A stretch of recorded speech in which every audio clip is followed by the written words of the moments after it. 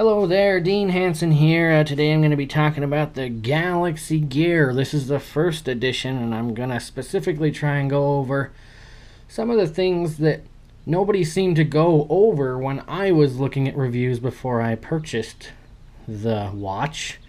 Things I really wish people would have done. Uh, mainly, I wanted to see a call test because that's actually one of the main reasons I got the watch is to be able to make hands-free calls, answer phones while I'm driving without getting one of those stupid little earpieces that I don't like. Um, and so I understand that the call quality won't be as good as having an earpiece because it's essentially just having your phone on speakerphone. But the fact that it's on your wrist, you can keep your hands on the wheel, seems pretty nice. You get the call, you look, you answer, decline, and talk. Seems pretty good. So we're going to do a call test. We're going to talk about some pros and cons. And, uh, and I wanted to know if it would work with Spotify on my Galaxy 5S. Um, or S5, Galaxy S5, yeah. and uh, wanted to see if the media controller would control Spotify, which it does, um, which is awesome. So we'll go over that too. So first things first, um, one major con with the device is S Voice is just junk on here. I'll ask S Voice something on the phone, and it works perfectly fine 95% of the time. S Voice on here only works about 10% of the time. You have to be really basic. You can't, if you say set a timer for 10 minutes, it almost never works. If you say call somebody, it usually will. It's a big con, but let's do a call test real quick and just see. I told my buddy I was going to call him and test it out. So let's just do a call test. So to activate S-Voice, you hit the power button twice. Let's see if we can get it to call Ronnie without going into contacts.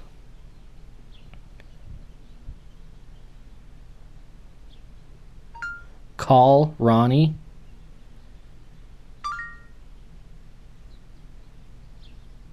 Calling Ronnie Roger. Excellent. So it's working.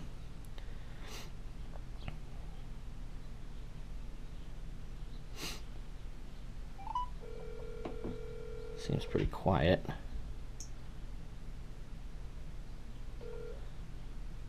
Hey, what's up, man? Hey man, uh, just doing this quick video test. Wanted to see how the how it sounded. Can you hear me okay? Right on, yeah, it sounds perfect. Awesome, cool. Yeah, I just wanted to do a video test, so you're kind of like gonna be famous now on YouTube and stuff. So. Is that right? That's great. all right, man. I just want to do a quick test. I'll let you get back to work. You're working today, right? That's right. All right, cool. I'll I'll talk to you later. Thanks. Okay, we'll see you. See ya. So you can see that uh, calls come through pretty good. It seemed like he could hear me fine. I could hear him fine. Um, and S voice did work for that.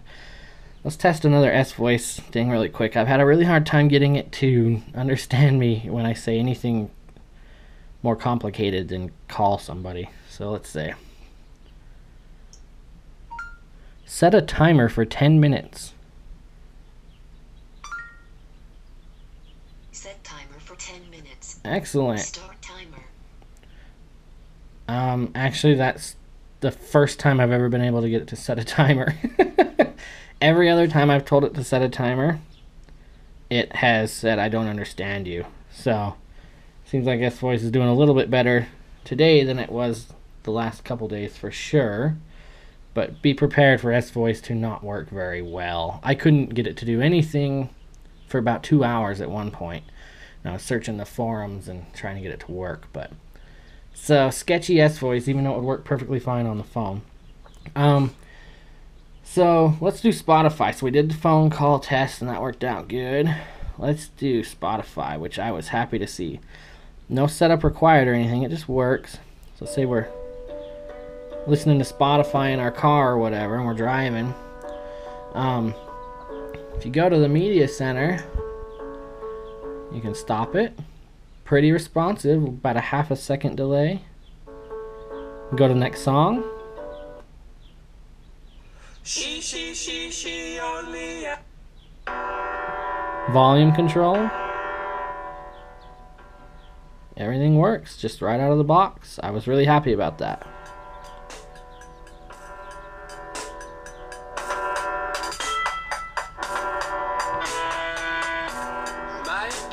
So yeah, Spotify uh, definitely definitely awesome right there in the media center. Um, really happy about that. Um, another pro we already did the call quality is um, if you are near the phone, if the two devices are near each other, you don't have to slide. You know, for the S5, you would have to normally do your fingerprint sensor, or you'd have to do uh, to unlock your phone, or you'd have to do a pattern to unlock your phone. Um, if the devices are close enough to each other, you don't have to. It just knows that you're you. It knows that you're using it, and uh, and it just works right away. And that's really cool because I you kind of especially for this you kind of have to turn it this certain angle to get the fingerprint sensor to recognize your fingerprint. And as long as I'm wearing the watch on this arm and picking it up with that, it seems to never really need me to put in a passcode or a, a security lock or fingerprint. And that's just automatic. So that's a really cool plus. I like that. One other thing I wanted to go over one of the last pros I was going to mention that I didn't see other people really mention was um, today's schedule. Now, I went in there into the settings and put today's schedule right there to the left. You know, you can adjust where certain things are. Um, today's schedule is pretty cool. You can see I have three events. I did a test event there. The Galaxy Gear video and um, TV to Best Buy. I got to take a TV back to Best Buy today. And so yeah, these are just the events straight from, it just shows today's. Um, those events are synced up just straight from my calendar on my phone. Right here. Um, and I just put it into my phone like normal and it syncs up. And you can see it right there. And then when I'm at work, it'll know my inspections and stuff like that, or that are all anything in there will be in today's schedule. I like that a lot. Um, so yeah, those are the main pros I want to talk about. Some cons that people didn't seem to really mention was the S voice. it worked good while I was doing this video, but it's rare that S voice works well. Um, there's no maps. I thought I could have swore when I was looking into getting this device. Now this is just generation one. I think generation two does have it. Um, is there's no turn-by-turn map application. I can't find one now. I only spent about 20 minutes looking for one, so maybe I can find something like that. But I'm sure if I root it or whatever, I can get something like that. But out of the box, I was just kind of hoping that I could do turn by turn. Motions is not very good. So when you first get it, it has this motion detector on it. So when you, you know, if you were wearing it and you looked up at it, it would the display would turn on without pushing the button. Um, the problem with that is is your hands are moving a lot and it's just kind of always turning on and off. I only used it for one day and I just felt like I was wasting battery having the motion on because it was just always just randomly turning on and off. I'd look down over the, my watch and it was on and so I might turn that back on, I might not, but I put that under cons because I wanted the motion to be a little bit better than it was. I didn't want it turning on and off just by me moving my arm I was kind of hoping that a, a specific motion would get it to come on and then other random motions wouldn't. But it kind of just was always turning on and off. Um, those are the main things I, I wanted to talk about. But, you know, if you get a text message, let's send myself a text message really quick. Show you what a text message looks like. When you get an incoming call, it's pretty much just like what you would expect. You just see their face and their name and you just accept it or decline it. Um, and uh, as far as text go, it's actually pretty cool. Let's uh, go ahead and send myself a text. I already tried this once before. I called myself a bitch. Let's just say hi, Dean. So we send ourselves a text. You hear the phone go off, and then this comes off. I got a message from Dean Hansen. Select it. Hi, Dean you can go show on device you got some other options here show on device select reply s voice reply is a joke if you try to use s voice reply um, it, it doesn't work I'll show you what I mean